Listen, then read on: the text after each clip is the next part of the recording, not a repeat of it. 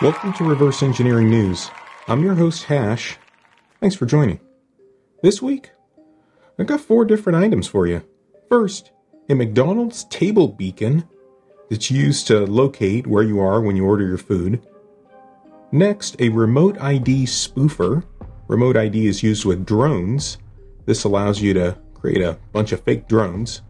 A fault injection attack against a DJI drone using electromagnetic fault injection, fairly complex.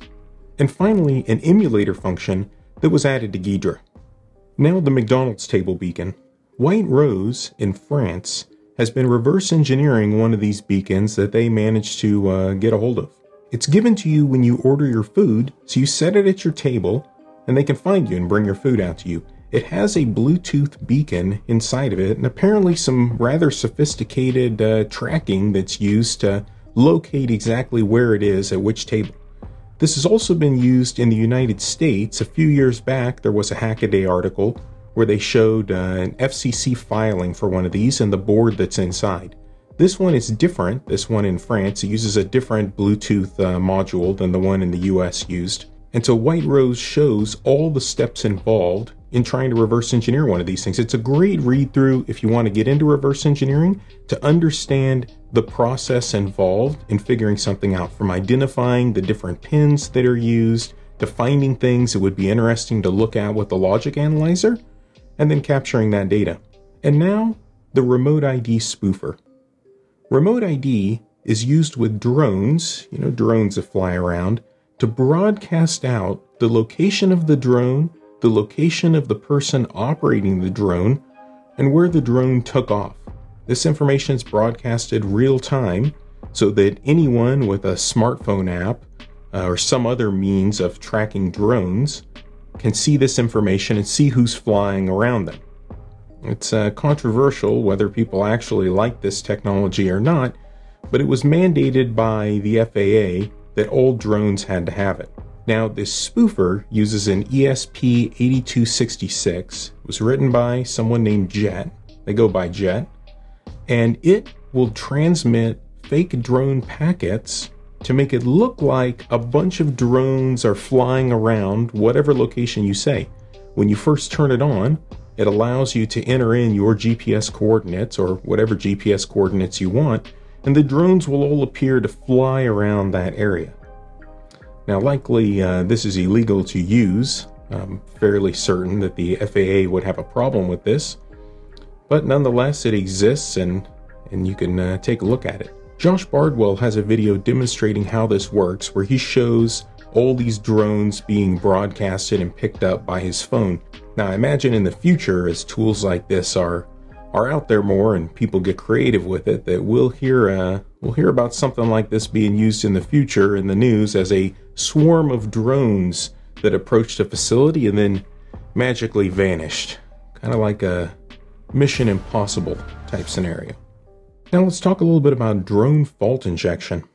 So IOActive is a company that does security testing, and they have some write ups that they put out on a blog. And one of them was on using electromagnetic fault injection to try to take a DJI Mavic drone and cause a fault and try to get some information from it. Maybe extract some keys or get the firmware or privileged access to, to run uh, some software on there that you're not supposed to run.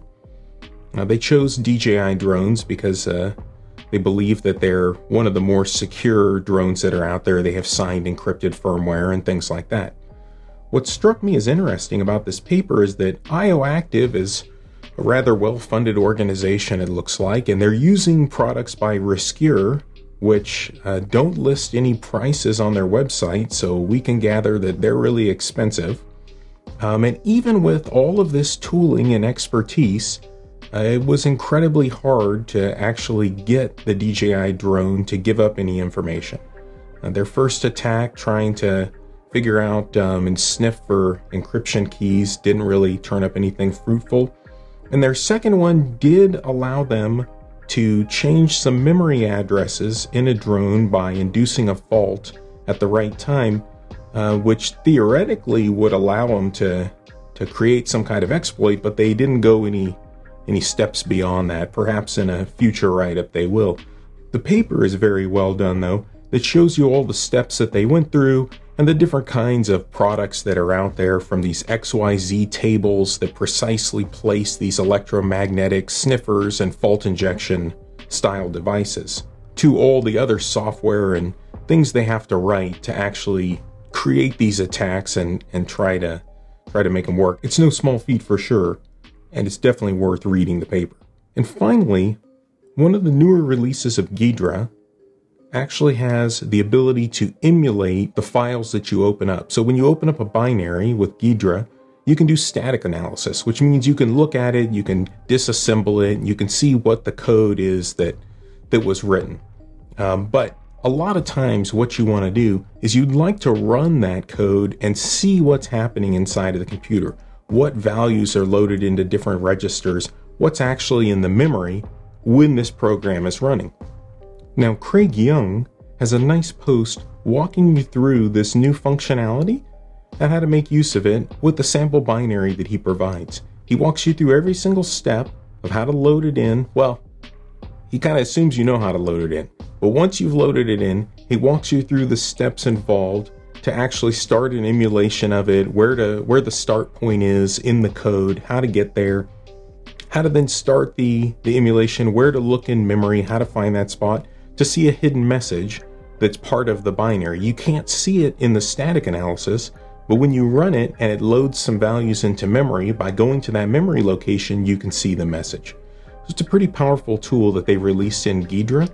It's definitely worth checking out. If you haven't used Ghidra, follow the steps exactly as he says, and maybe watch a video beforehand on how to load in different software into Ghidra for different kinds of analysis. It's fun to play around with. His sample program is fairly small, um, but if you click in some wrong spot or in some wrong thing, it can feel pretty confusing. But I ran through it. It was it was great. Maybe the third time through once I got it figured out. Now, as always, you can find me over on Discord with about 750 other people, all chatting about reverse engineering. There's a Recessim wiki. If you have projects you want to share things you're working on, feel free to create an account there and share your projects so other people can check them out, see what you're working on, see pictures of things, maybe see inside some device that they've never seen before. If you have any stories you think would be interesting to share or stuff in the future, you can catch me hash at recessim.com or on Twitter at bitbangingbytes. Thanks a lot for watching. We'll see you next week on Reverse Engineering News.